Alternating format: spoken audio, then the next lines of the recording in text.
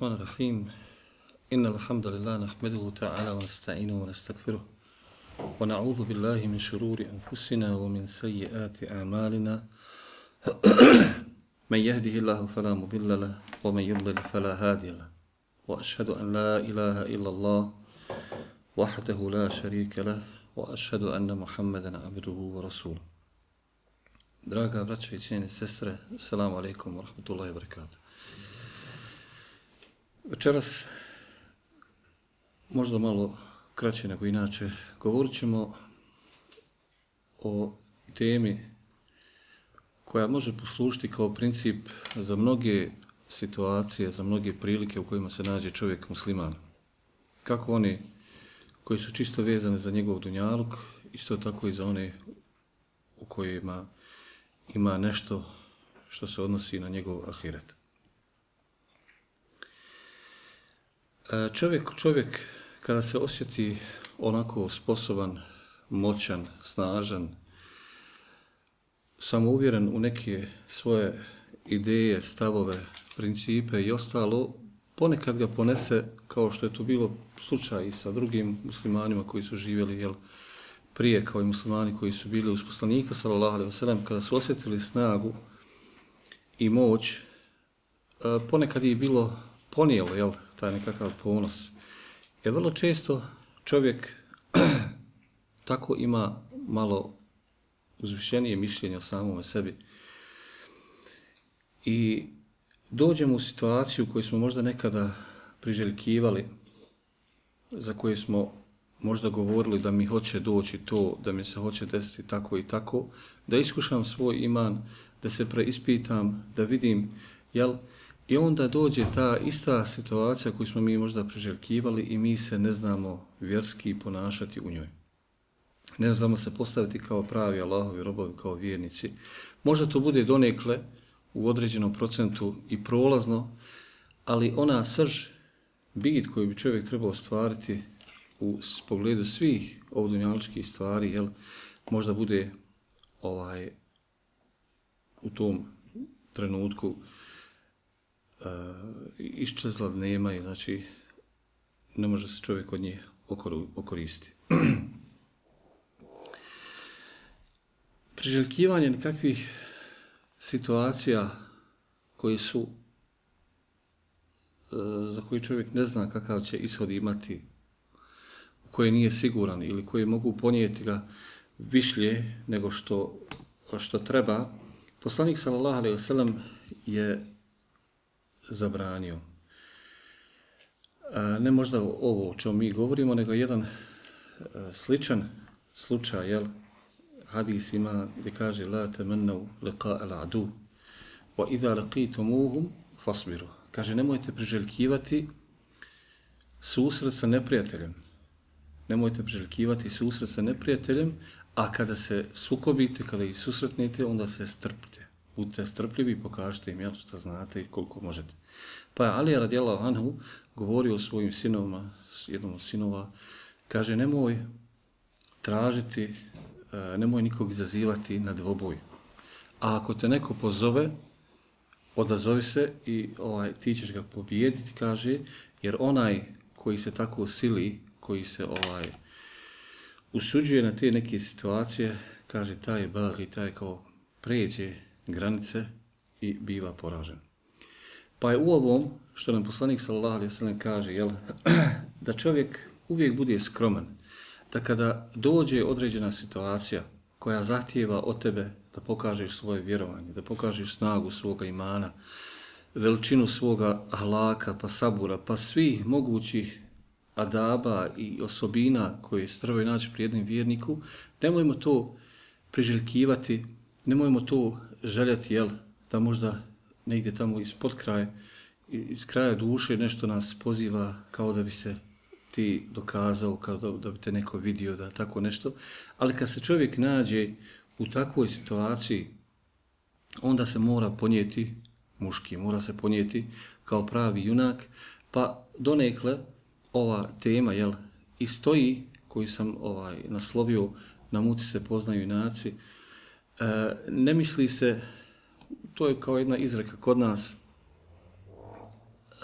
poznata, ne misli se direktno na boj, nego inače svaka situacija u kojoj se čovjek nađe, kada trebaš biti milostiv sa djetetom, sa ovim, sa onim, sa suprugom, da budeš takav. I kaže poslanik sallallahu alejhi ve sellem potvrđujući ovo, nije jak, nije snažan onaj ko drugog nadvlada u hrvanju, jel, nekoj bolačkoj vještini, nego je snažan onaj koji se ovlada u svojoj srđbi. Znači, snaga a, pravog junaka otkriva, znači, tada kada trebaš da se strpiš, ne znam nija kad, analogno tome, kada trebaš da budeš samilostan, da budeš, znači, takav, da budeš junak u toj priči. Znači, svaka od tih priča ima svoga junaka i e, taj junak mora da riješi određenu situaciju na najbolji način. Taj junak smo ja i ti i tvoj brat i moj brat i tvoja sestra i moja supruga. I znači svi muslimani su u stvari ti junaci koji se moraju pokazati. ovaj Lako je se busati dok ne dođe, hajde kažemo, gusto.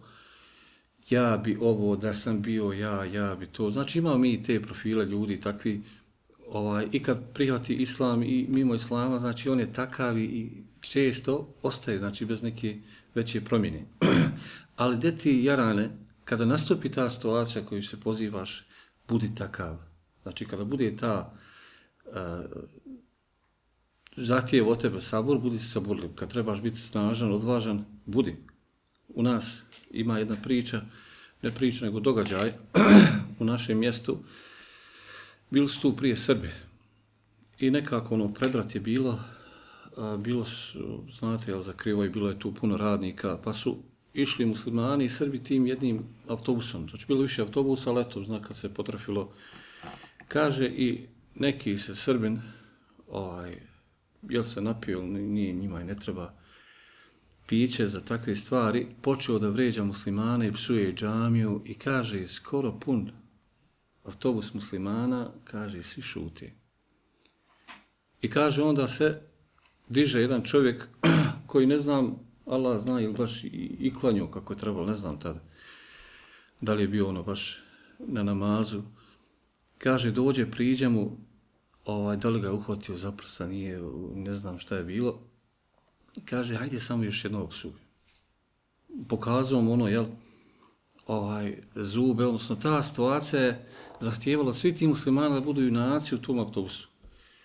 Kaže, i taj više nikad nije, kaže, smio da progovori, samo što mu je taj, ali nije neki ni građom, ovaj, niti je neki hrnica, niti, ali glavnom njega je pogodilo i on je tu se odazvao. E, takvi situacija, hoću da samo malo idem u okolo, hoću da kažem da svaka situacija treba da bude zahtjeva od nas takav stav, junački stav. Pa kada čovjek dođe u namaz, Ti si junak u namazu ako se odupreš šeitanskim vesvesama, njegovim nagovaranjima, izdržiš u, u, u onom skrušenom nekom stajanju pred Allahom subhanahu wa ta'ala, pa kad završi namaz, opet ćeš biti jak ako ostaneš, a ne odma kako smo naučili na vrata, ovaj, kao da nešto mi hoćemo da ugrabimo, da hoćemo nešto postignuti, tako dalje. Znači, svaka od tih situacija zahtijeva svoga junaka, svaka od njih je priča i ona treba da ovaj da imate svoje junake, pa ovo samo govorim, jel, pošto sam malo mijenjao temu, da kažem da i ova tema, odnosno naslov, ima svog smisla. E, jedna od takvih situacija koja je jako bolna kod nas, bili mi nije svjesni ili ne, E, nekada dok smo bili, većina nas, možda momci i ostali mimo nas, kaže da je meni, mene je promašilo, pa kažeš ovo, pa promašilo me neko doba, ovo, kaže da je meni dala počasti djetetom, pa bi ja svoje dijete odma odma bi ga čim nije progovorilo, on bi me počeo učiti sufaru i Kur'an, ne znam ja.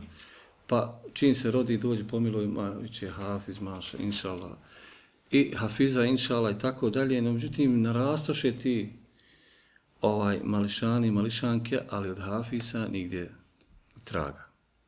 Šta više imamo problema kad pogledate, kad, ako hoćemo da budemo iskreni sa sobom, po školama, po nekim raznim aktivnostima, po ulicama, znaju djeca vjernika i vjernica da budu glavni problemi i pokretači neke zvrke i problema. Kako u gradovima, tako isto i u selima. Što je poražavajuća činjenica, ali je tako. Zašto je to tako kad smo mi se busali samo da je nama djece, to će mašala biti ovako. E, znači, samo kad gledamo na taj segment, nema od tog haman pa ništa. A samo oni koji su probali, jel, ja znam neka iskustva kod nas u mjestu gdje živimo, a, djeca koja su postala hafize, koliko su ljudi dali truda. Znači oni nisu ništa, oni su po tom pitanju možda nepismeni, po pitanju teđvida, Kur'ana i tako dalje, ali je žena znala, znači svaki dan upali auto, odveze djecu, koliko djece išlo kod Hafiza, sačeka ih da završe po sat, dva, koliko je bilo, opet se vrati i sutra tako i svaki dan, dvije, tri, četiri godine koliko je išla. I onda su ta djeca postala Hafiz. A postati Hafiz tek onako što inšala govoriti, znači od tog, od tog nema ništa. Mi imamo problema sa nekim osnovnim stvarima u pogledu djece, a namjerno govorim, jel, zato što je to naša jedna kritična tačka oko koje trebamo povesti mnogo računa, e, dođe pitanje hijjaba i to se nekako provuče, hijjab prođe, ali prođe nekakav polovičan hijjab koji nije hijjab kakav bi trebao biti. Otkrićeš da je to tako ako uđeš na profil pa vidiš našminkane, obrova nacrtani, svačeg, nečeg, a poviš toga ima hijab. Znači nije to, nije to ni neko mjerlo, nego trebamo znači biti, kada već imaš djecu, budi odgojatelj kako treba. Kada si otac, budi otac kako treba, ne onako čovjek ovaj, kako mi kažemo, na, na baterije. E, ovakve stvari, znači mi imamo krizu u pogledu nekih osnova vjere. Osnove vjere, mi ko sebe, jedva smo čekali možda da naučimo učenje Kur'ana, da naučimo nešto teđvida i onda kad smo trebali da prionimo, vidimo jel, da se slabo družimo sa Kur'anom. Ne znam ja i sve ostalo što kažem i, i namaz i imamo, imamo poteškoća. To su one osnove, osnove vjere bez koji ne može nikako. A i druge stvari koje nisu tako zanemarive, jel, one su još druge, mimo tih osnova, ne možemo nazvati sporedne, nego manje važne, isto tako je tu još, još teže, još teže stanje. E, mi, ako ne uložimo, kad su pitanje ova, kad smo se već dotaknuli pitanje djece, ako ne uložimo trud u tu djecu, a to nije obični trud, nego trud poštenski trud. Ako to ne uložimo u svoju djecu, onda će naša djeca otprilike izaći poput nas. Malo genetika, malo adeti vidi od nas i znači otprilike to će izaći, znači ko što si ti. A da bi bilo nešto bolje, da bi neke rezultate postigli, tu treba uložiti velikog, velikog truda. Ovaj, da se to vraća, jel, da čovjek sebe zateče, da se to vrati tebi u svojoj djeci, Ovaj, ja ću to na svom vlastitom primjeru iznijeti, a vi znate sigurno i, i po sebi mnogo takvih stvari. Jedna od moje djece se žali mrskom u školu. I sad ja kod da ispadnem malo ko sam ko ja, ja kažem, dijete, drago, ja sam bio ko ti, ja sam trčeći išao u školu. A naravno nisam ti da slažem, Ovaj, a to je bio moj otac, kaže, jesi, jesi, kaže, trčeći, kaže, autobus bude na devetom, a kada ti još nisi krenuo iz kuće, kaže, onda trčiš. Ovaj, I tako, vidiš ti otprilike da ti neki stvari se ponavljaju. Jel? Ovaj, mi možemo nekom pod, podvale i laže poturati i prodavati, ali pravo stanje, pravo stanje e, nas možemo vidjeti na svoji djeci.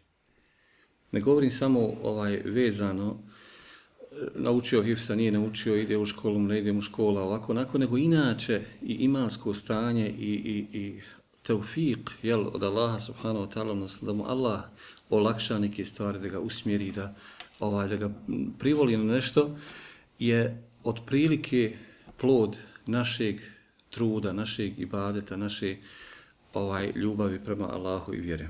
E, nešto kasnije ćemo malo više kazati ovaj o tome. E, da je ovo što govorim otprilike istina, gledao sam jedan video, možda još neko to gledao ili šta je već bilo, ne sjećam se, e, gdje je čovjek podnio tužbu protiv svoje žene za nemoral, jel, da je vršila preljubu i da njegova že, že, ova, djeca nisu njegova zakonska djeca, zbog toga što su djeca bila onako poružna, a oni su kao par, kao par bili lijepi, jel? pa je ovom čovjeku bilo čudno sada zašto su mine djeca takva, nisu mi baš ni na mene, ni na majku, imaju, jel, malo maja, mi kažemo, ružne. Ovaj, I onda su otišli na sud. I na sudu je ona progovorila da je ona u stvari izvršila ovaj, više tih nekakvih operacija, plasni, mijenjala svoj izgled, uljepšavala se i ovako onako. Ali šta je u stvari ostalo? Da su geni oni koji su prevagnuli. Jel, djeca, djeca su došla na majku, ovaj, sad kad prikazuju njenu sliku, kako je bila prije i poslije te operacije, znači nije to ni slično. Ali je ostalo ono, jel, erk, E, kaže se kod, ona, e, kod Arapa, ala irku desas, jel, irk ili loza, povuče ono, kako mi, jel, kažemo. E, znači, otprilike mi dobijemo to kako i, kako i zaslužimo ili kakvi smo mi od prilike. E, čovjek, ako u nešto ne vjeruješ, ako nisi uh, ubijeđen da nešto treba, da nešto ti radiš sa ljubavlju, sa ubjeđenjem, to ne ide, ne pali. Vi znate, jel mog malog, on dođe ovako sa mnom, ovaj, mogli ste primijeti živ, vrcav, možda i dirao čak i jel, instrumente, ovaj, ima te, eh, te hiperaktivnosti ko sebe, I neko im predlaže, kaže, što ga ne upišeš u karate? I stvarno trebao bi, jel, možda da ga upišem u karate, ali ja unaprijed znam, pošto ja to ne volim, onaj, da ja to ne mogu ustrajati. Da ja od njega možda vodio mjesec, dva, i da bi ja sam prvi bi ja otkazao. Zašto? Zato što ja ne imam to u sebi, ovaj, ne znači mi to nešto puno. E tako ovo što smo malo prije mi govorili gore, kad hoćemo napraviti od svog djeteta hafiza, možemo ako mi imamo snage, volje da možda to nadoknadimo kod svog djeteta što nismo mogli ovaj mi. Isto tako, ako mi hoćemo od svog djeteta da napravimo pravog multezima, onaj multezim, jel kaže se čovjek koji je privrženi vjeri, ono praktičar čovjek, e, mi to možemo ako smo mi takvi, ako je nama teško da on nešto uradi ružno, spremni smo da ga kontrolišujemo, spremni smo da, da ga usmjeravamo. Znači, mi živimo za taj autizam i mi možemo od svog djeteta napraviti ovaj multezima. Ali ako mi prepuštamo dijete, jel, da samo eto, oh, ima neki obilježje, onako vanjski, dobro je, mašalo, hajde, ovaj, nisu najgori, znači, nema od tog fajde. Znači, kad ga preuzme okolina, prijatelji, društvo, internet, znači, od tog se može svega očekivati. Dakle, ovo što govorim, a, jeste sve s ciljem da kažem da zaista čovjek treba u svim tim stvarima, jedna od najosnovnijih i najkritičnijih kod nas je upravo to, taj odgoj i odnos naše djece prema vjeri i ostalo. Mi smo jel, mislili da će samo treba rod djecu i on će biti bolji od nas. Mi ćemo napraviti, kad sad e, kao što pčelari radi, kako ima pčelar, on kad dođe zima, on sad počne računati 10 košnica puta, 20 kg meda puta, 15 maraka, aj, bit će tu. E tako smo mi računali.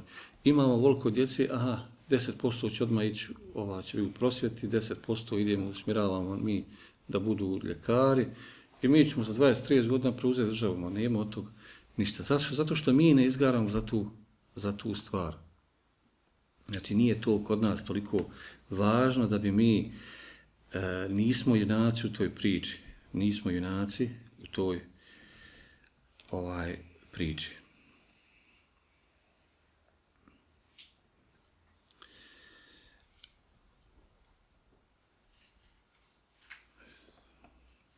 Jedan, da, da čovjek može napraviti u svog djeteta multezima ili način kako to da, da se radi, imamo jedan e, princip u našoj vjeri se spominje tu i tamo u nekakvim pričama a, o strani određenih učenjaka kroz nekakve primjere, jel, princip nekakvog pretvaranja, konvertovanja blagodati u nešto što je za nas razumljivo. Za nešto što je od nas, za nas razumljivo, recimo novac. Pa znamo, jel, za slučaj da je neki od siromaha žalio se na svoje stanje, na imaštinu, ovako i onako, pa mu je prišao nekakav pobožan čovjek i rekao, o ti, da li bi ti prodao svoju ruku za, lupam, sto hiljada? Kaže, ne bi, a drugu za sto hiljada? Kaže, ne bi. Pa, nogu za toliko, pa oko, pa znači sve mu je tako pošlo nabrajati jedno za drugim ti neki osnovne blagodati koje ima, pa je ovaj uvijek govorio ne bi to prodao, ne bi to prodao. Pa kaže, vidim da si jako bogat, milioner si čovjek, a tu se žališ na svoje stanje. Pa taj princip, jel, da, da mi to nekako pretvorimo, te neke blagodati, e, u nešto opipljivo, nešto, jel, ovamo što se može, je bilo, znači, bilo, ovaj, bilo prije. Jedna od stvari isto tako da je neki čovjek, da je neki čovjek dugo ostajao na, na, na namazu i na seždi, pa su ga pitali o tome, kaže, zbog čega ti to radiš? Vidimo te puno stojiš na seždi, puno doviš, kaže, ja to radim ovaj, za ovu svoju dječicu. Dobi on Allahu, moli Allahu, približava se Allahu da mu Allah sačuva kroz to, da mu Allah sačuva kroz to ovaj, njegovu djecu, da ih izvede na selame, da ih sačuva i tako. Znači, to je već, to je bilo i zašto mi sada da se ne poslužimo sa tim, ovaj, sa tim primjerom. Isto imamo primjer uh, u suri Al-Kehf, jel, kada su ona siročad imala zakopano blago koje im Allah subhanahu wa ta'ala sačuvao zbog nekog njihovog ovaj djeda koji je već bio koji je bio dobar čovjek. Pa je to odrazilo se taj bereket njegovog ibadeta a, odrazio se na to da je Allah subhanahu wa ta'ala sačuvao tu dječicu od siromaštva, od poniženja i tako dalje. E, dakle, ovo stoji, ovo ima, možda se ne priča o tome puno, ali ima znači, smisla. E sada, zamislite vi šta treba, koliko treba ibadeta, koliko treba e, bereketa, da, da se napravi, ili hajde kažemo da se izlije u kalup jedan određeni sunet, praktikovanje suneta. Recimo, hajde da ne govorimo o hijabu, ne kažemo da mladić koji ono, jel, počinje unicati brade, da on ima volju da ostavi bradu, da i ne dira, da je, tu ćete dosta rijeđe vidjeti nego hijab. Koliko treba tog nekakvog bereketa od našeg ibadeta da se uh, pretvore, mi zamislimo kao neku materiju, da stavimo nekakav kalup, da izlijemo dječaka sa bradom. Ne znam ja, da mrzi laž, da mrzi neke ružne stvari, ili da to dijete postane multezim, pravi vjernik, koji voli Allah, koji voli vjeru. Koliko treba, koliko treba onaj tog ibadeta od tebe, od tvoje majke, od, od tog nekakve atmosfere vjerničke, pa da se to prelije na njega, da se jednostavno ta djeca okupaju u tom ovaj puno. Ima jedna, možda nije izreka, ali eto sam da spomenemo, jel, eh, kad su te neke niske, nisko vrednovane stvari kod nas muslimana, inače, ovaj, možda ne doliko je da spomenemo, leto nije bitno, ovaj, eh, ima jedna izreka, pošto je nekakav eto, koji lovac, eh, ima jedna izreka među tim lovcima kad hoće opisati jel, nekog svog kera, psa, kako je dobar ili kako ga treba znati napraviti takvog, kaže, Jarane, trebaš ti nekoliko pari čizama pod rat da napraviš kera. Znači, trebaš ga izvoditi na teoriju, ne znam, ja. Trebaš pod rat dvoje, troje čizme da ti napraviš kera kako valja. A šta mislite koliko onda, hajde mi kažemo, pustimo tu stvar na stranu, koliko treba poderati čelo na seždi da ti Allah subhanahu wa ta'ala tvoje dijete učini hajrli djetetu. Koliko to, taj rast treba zaliti suzama pred Allahom subhanahu wa ta'ala. Ako neki osnovne stvari, vamo ljudi koji su nekad znaju biti naj nekog nižeg profila u društvu, ovaj, skontali da treba truda za nešto, za nešto što, ovaj, što možda vrijedi za njih. E, isto tako, ovo što vrijedi za nas, treba tu veliki trud treba znači biti dosljedan otac, dosljedna majka. Nije samo dovoljno roditi dijete, pustiti ga, dati mu džeparac, poslati ga u školu i gledati svog posla. Znači treba uložiti puno ibadeta, puno truda, puno dove da bi jedna, jedno dijete izveli na selamet. Pa drugo dijete, pa treće dijete.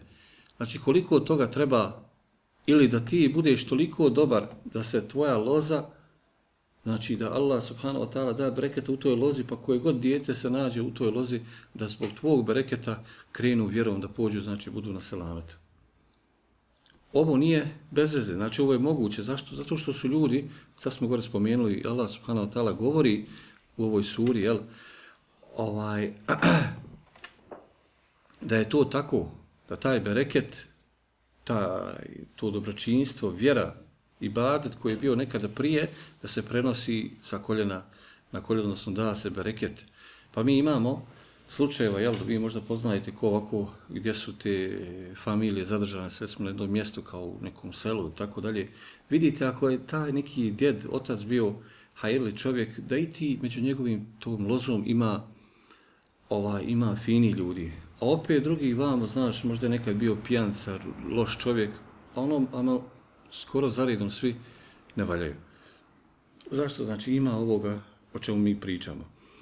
E, namjer se sadržavam, halalte, e, na odgoju, na odgoju djece, zato što je to nešto jako ovaj bitno, bitno za nas, a da je to velika briga, govori nam i primjer gdje Allah subhanahu wa ta'ala navodi da je to bila jedna najveća briga poslanika, ali im salam prema njihovoj djeci.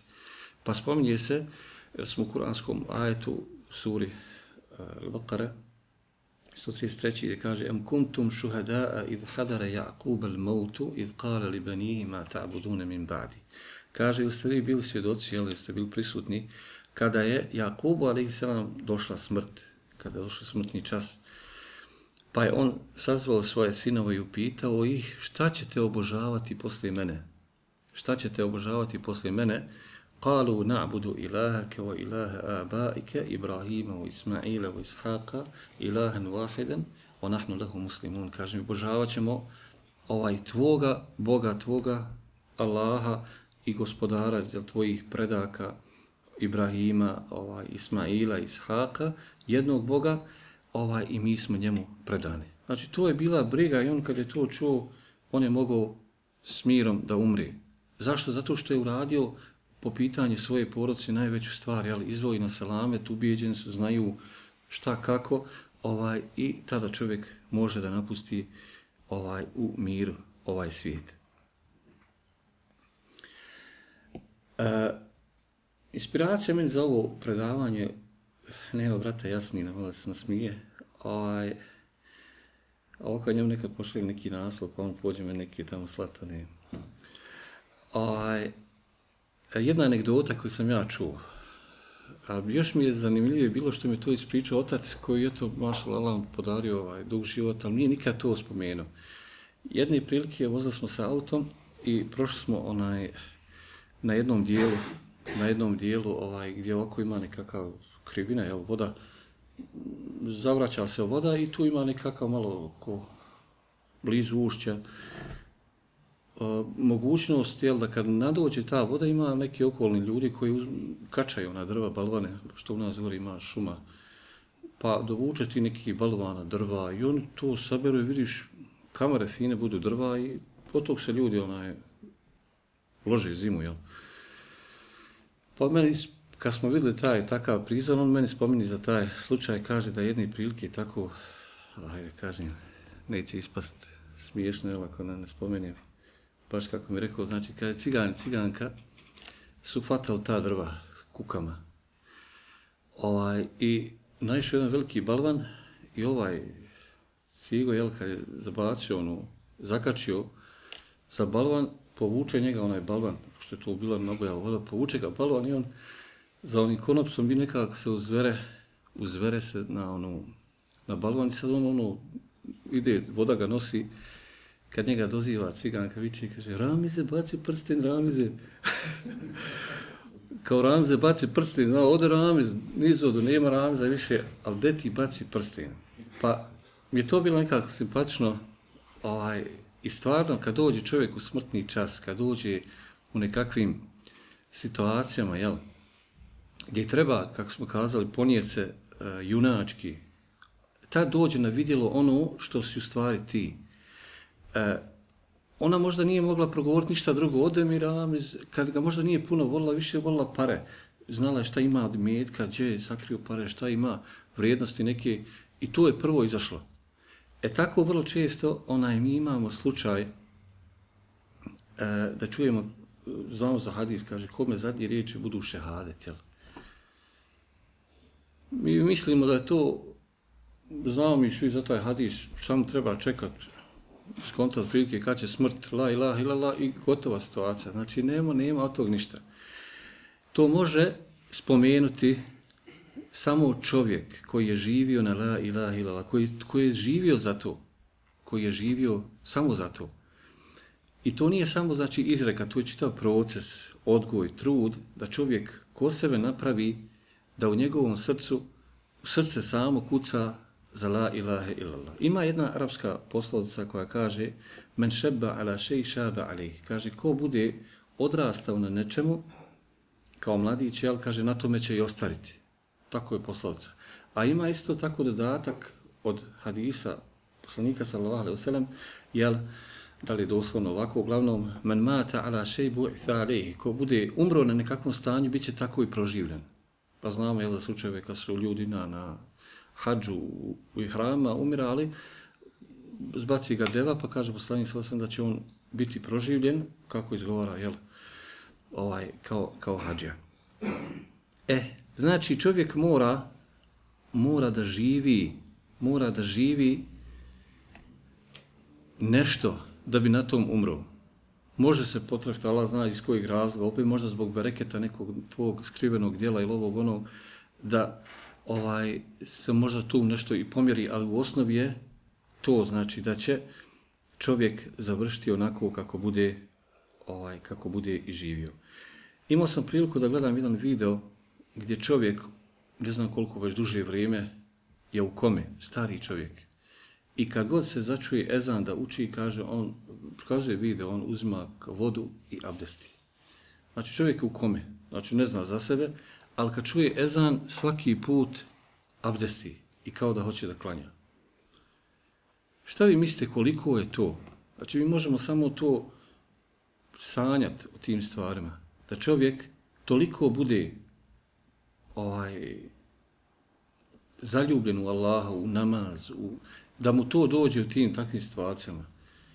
Znači on više nije taj koji to pokreće svojom voljom, nego je to iznutra, znači njegovo srce to želi i ono to hoće.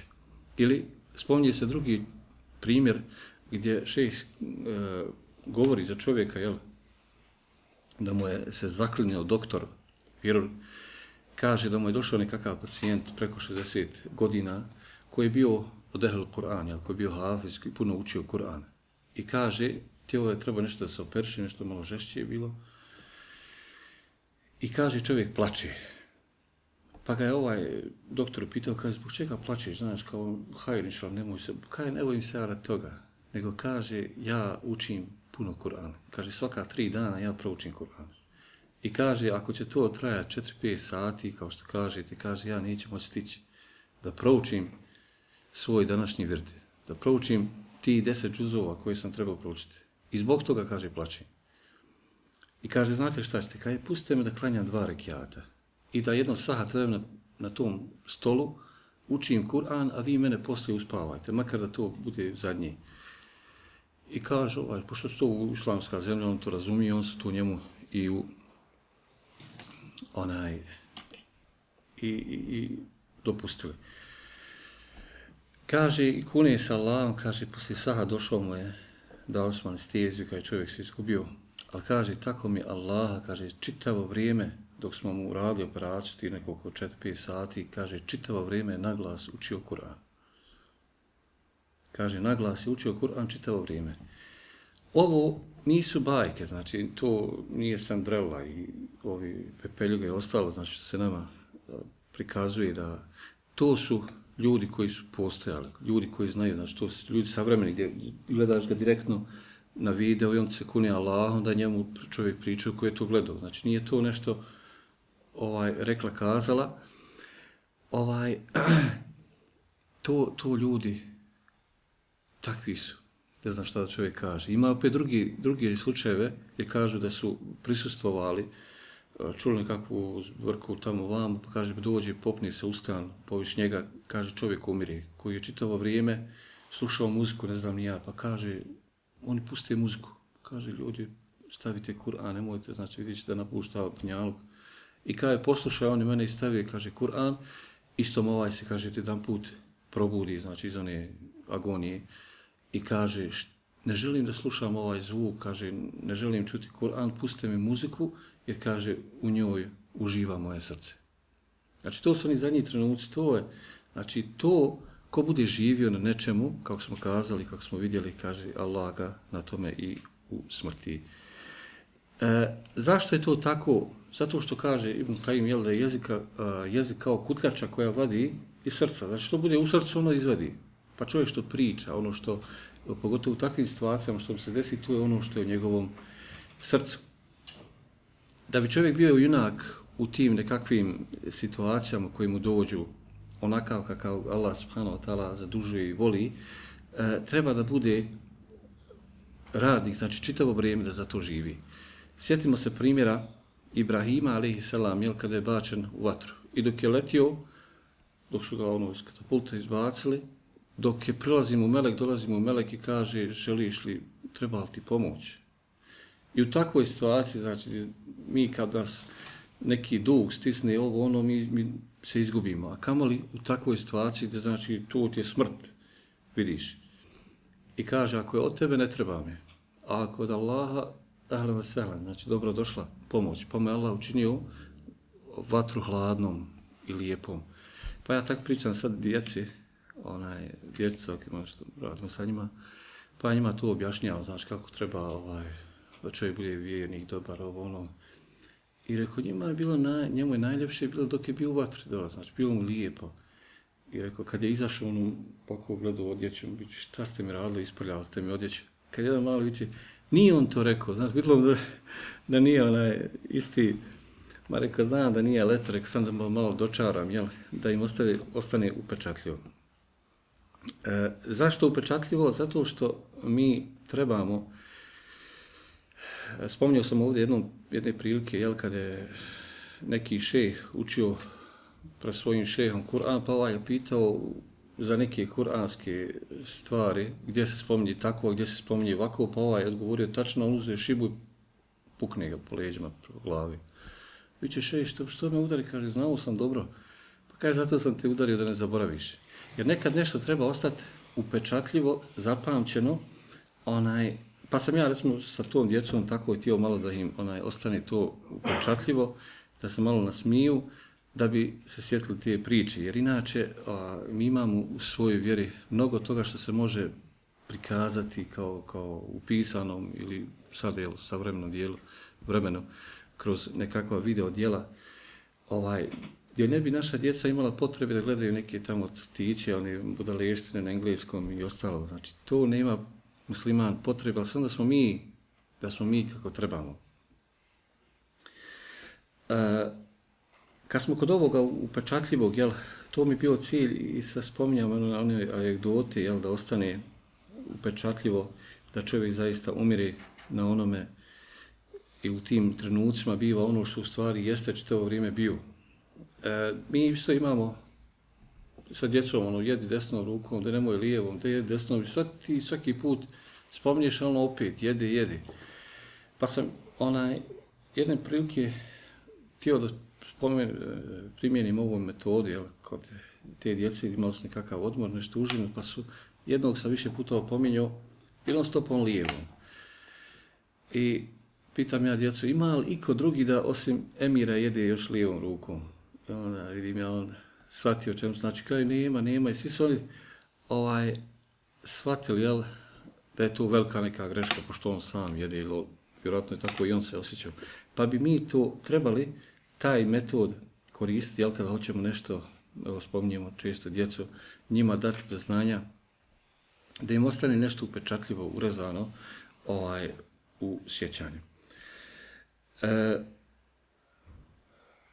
mi često, ja rečko da će biti to malo kraće, e, imamo, nađemo se u nekakvim problemima, sve nas neš, nešto pritiska, tjera, goni i ne znamo kako da se postavimo, ne znamo naći pravo rješenje, ne znamo dakle da krenemo, za koju stvar da, da uhvatimo kao, kao kraj konopca. Kad mislimo da je nešto, onda vidimo da ispred njega ima još dvije, tri stvari koje trebamo riješiti. I često mi kada hoćemo da uradimo, da uštedimo na nečemu, mi to uštedimo na, na vjeri. Nemam puno vremena, Boga mi ne mogu sad učiti Kur'an. Tijesno mi je. Pa, ne znam, nema poslije namaza, nemam vremena da zikrim, žurim, pa idemo, ne znam ja. I sve tako jedno po jedno i to postaje ovaj, sve dalje i dalje od nas. Priča se, kod nas je bio nekakav čovjek koji je bio otpravnik vozova i sad neki njegov rođak je negdje putovo i vidio njega na stanci šta ima tamo vam, ja se malo raspričala, ali ovaj čovjek sam, sam gleda dole kad će voz krenuti. I ovo je primijetio, kaže, šta ti radiš, šta gled, ti gledaš ti? Pa kaže, otićem voz, piće, ne može otići kada ja njemu ne dignem. Onako, jel, znak mu ne dam. Ne može otići nigdje. E tako i mi, onaj mi ko negdje žurio, mi pričamo, stojimo pred Allahom, ovaj, ako negdje žurimo, hoćemo nešto da stignemo, nešto da, ko, ko mi smo ti, neki koji ti mi nešto možemo raditi, ko mi možemo tu nešto pofatati, nešto stigni, nešto urediti, nešto, ovaj, a poslušajmo šta je šejh Šarav, jel, poznat šejh egipatski, šta je rekao, kaže, ide stađelite fi salatike, fatedekar, أن كل ما تريد لحاقه وجميع ما تخشى فواته بيد من وقفت أمامه kaže, kad požuriš u namazu, da bi nešto sustigo, da bi nešto onaj odradio, kaže, sjeti se da sve što tu želiš postići ili uh, uraditi, stići, ili što, zašto se bojiš da ćete mimo ići, kaže, sjeti se da je ono u ruci onog pred kim ti stojiš. Znači, to je u Allahovim rukama. Znači, u našim rukama nije ništa. I mi sad žurimo od Allaha da stignemo nešto što Allah ti može dati. U stvari ne možeš drugačije ni dobiti. Ne možeš dobiti nego da ti ga Allah subhanahu wa ta'ala dadne. Ne možeš ništa dobiti ako ti Allah subhanahu wa ta'ala nije dao. I ovo je srž rješavanja svih naših problema. Znači, mi sami sebi ne možeš riješiti problem. Ja sebe upacam, niti možeš nešto fizički što treba ukloniti, sred, ne možeš, ne možeš neke obaveze izvršiti, nemaš ko vremena, nemaš, nemaš stići. Ovaj, ali ništa od tog ne realizuješ. Zato treba tražiti kod Allaha subhanahu wa ta'ala da ti on odriješ, ovaj, riješi te probleme. Čak ni ono činjenje stikvara, no donošenje salavata na poslanika, salasalam, da ti se riješi problemi nije ispravno potpuno, nego treba samo obožavati iskreno Allaha subhanahu wa ta'ala i Allah će dat da ti sve bude kako treba. Znači mi o sebe ne možemo to, ovaj, ne možemo ništa da uradimo. Naš ibadet treba da bude čist, iskren, samo radi Allaha subhanahu wa ta'ala. Jedan primjer ću navesti, primjer pri kraju smo, e, koji govori o tom iskrenom ibadetu radi Allaha subhanahu wa ta'ala. A mi često kad nešto radimo, pa možda bili će posljedice, rezultati bolji ako ja to usmjerim ovako, ako uradim ovako, ako ti nešto planiraš, ne znam ja, a zapostavi se iskrenost. Kaže se da je neki šeh rekao svojoj porodci, kaže, želim da mi napravi neko slatko jelo. Znači, možemo misliti tad u to vrijeme šta je to bilo. Nešto je vjerojatno malo s hurmama i to je to. Ovaj, kaže, pa su oni malo se potrudili oko toga, nisu ovdje imali sestava, pa su pribavili tamo vam i napravili to jelo, to za posebno one prilike, kaže, pa je taj šeh uzeo to jelo i odnio nekakvom luđaku, ludom, čovjek koji je bio tu negdje i dao mu da to pojede. I on je to ono bukvalno ždero, on su gledali kako to ono pljuvačka mu curi niz usta, znači on halapljivo kao poput onaj, malo možda ružno reći, poput životinje pojom. Pa se ovi gledali Šejevići, mi se volko napast, napatili. spremili, uzajmali, ne znam nija šta smo sve, da, da napravimo to jelo i ti to uzeo dao tom, on nema pojma šta je pojao. Kaže, jest, ali Allah zna šta je on pojao. Kaže, jest da on ne zna, ali kaže, Allah zna šta je on pojao. I on zna šta je u njegovom srcu bilo. E to, kad mi budemo radili radi Allaha, ne interesuje nas, hoće li taj neko tam to vidjeti, neće. Hoće li to se gdje pročitati, neće pročitati. Znači, takva naša dijela treba i da budu. Mi takvi trebamo da budemo sa djecom, sa porodcom, sa imetkom, sa ljudima, sa svim ostalim. Trebamo da budemo poput ovog primjera. Da ne gledamo osim u Allaha subhanahu wa ta'ala. Znači, rješenja mi kao ljudi, pogotovo što nismo još ni sposobni, ovaj, ne možemo mimo Allaha subhanahu wa ta'ala riješiti. Niti možeš sve pribaviti fakije, niti možeš dati u tome bereketa, niti možeš Znači, nema, nema nikakvog, nikakve šanse da mi to uradimo ako ti Allah subhanahu wa ta'ala ovaj, ne. Znači, junak, pravi junak, nije onaj koji misli da nešto vrijedi, koji se možda tako izjašnjava na neke kakvim i društvenim mjerama, mrežama. I ovo, i koje umišljeni, ne znam nija, nego onaj koji ustrajava i Allaha robuje u svim situacijama, u svim detaljima, u najsitnijim ibadetima, to je pravi, to je pravi junak koji će, koji će dati Allah preko njega rezultata i na njegovu porodcu i na njegove ovaj okolinu. I na sve što radi, znači u tome će biti biti velikog ovaj bereketa. Mi se možda čudimo kada čitamo o konačnici i smrti vladara, ima čak napisani i prevedeni knjiga, kako su oni imali lijep završetak. Nije to došlo iz Have, na njega, za, Boga mi, zatrefila smrt, ovaj, tako, nego je on to zaslužio. On je to zaslužio, ovaj, a zaslužio, je zbog toga što je bio Allahu subhanahu wa ta'ala iskren i pobožan rob.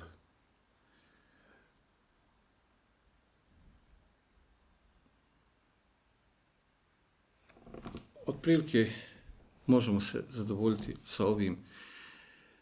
E, ono što mi bio večeras cilj, jel, jeste da, da kažem, da istaknem ti neki par stvari, a to je da, da svakako čovjek kroz svoj život prolazi kroz različite stvari, radi, nije samo se uhvatio za učenje Kur'ana, niti za nešto, znači imaš različite vidove i badeta i živiš poročan život i radiš, Ali u svim tim nekim situacijama treba čovjek da bude dosljedan Allahu rob, znači da, da Allaha robujemo kroz sve to. To se od nas traži. Nekad meni bude onaj čudo kad vidim kako to mi je bilo nešto onaj ljude koji su nekakvim pa ajde ti kažem ja ovako više volim prirod pa bude to malo e, onaj po tim arapskim zemljama pustinja, nik, ništa nema. Znači, nema nikakvog ni uživanja, ni prirode, ni ovom, ni onom. I ljudi, sam džamije kući, džamije kući, rekao, spala, nekad to bilo. Onaj, pa šta, šta će on doprinijeti vam? Stvari, to je cilj da ti budeš Allahu. Gdje god nemaš drugog posla, što toga to radiš. Imaš neki posao, onda radiš, radiš to. Znači, da nam ne bude dunjaluk, dunjaluk, da nam ne bude nikakav cilj.